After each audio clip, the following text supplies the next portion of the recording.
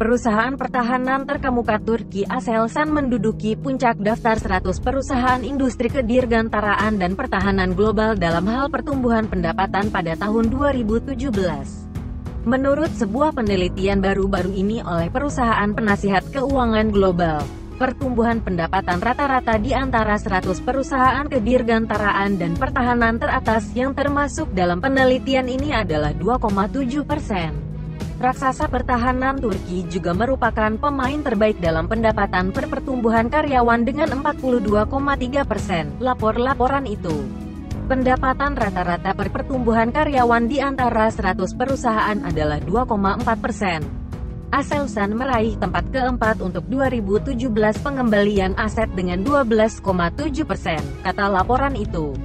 Perusahaan itu berada di urutan kelima di antara perusahaan-perusahaan top untuk margin operasi inti dengan 22,2 persen. Aselsan menempati urutan ke-8 dalam daftar untuk produktivitas karyawan secara keseluruhan dengan beberapa laba operasi inti sebesar 65.145 dolar per karyawan. Sebagai perusahaan Turki tunggal yang termasuk dalam daftar perusahaan kedirgantaraan dan pertahanan global, Aselsan menduduki peringkat ke-63 dengan pendapatan terkait industri pada tahun 2017.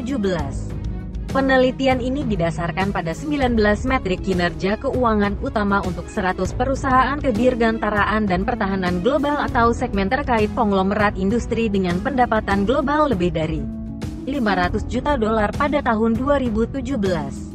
Deloitte menyediakan layanan profesional terkait dengan audit dan jaminan, pajak, konsultasi, penasihat keuangan, dan penasehat risiko di lebih dari 150 negara.